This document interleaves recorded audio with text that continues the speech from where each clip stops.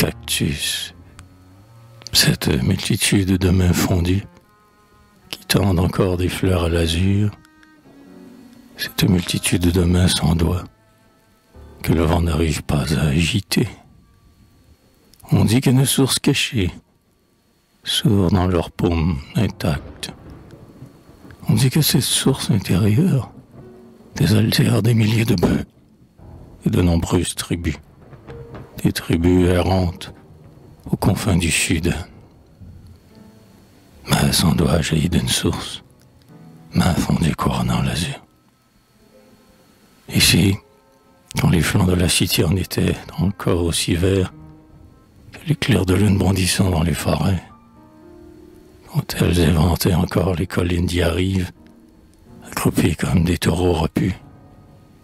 C'était sur des rochers escarpés, défendus même des chèvres, que s'isolaient, pour garder leur source, ces lépreuses parées de fleurs.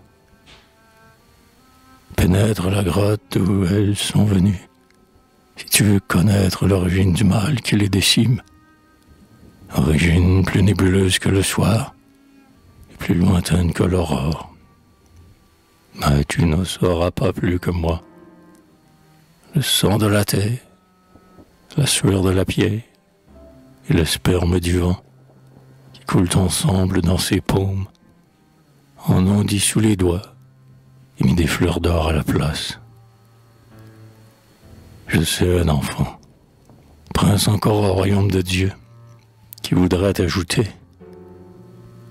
Et le sort, ayant eu pitié de ces lépreuses, leur a dit de planter des fleurs de garder des sources, loin des hommes cruels.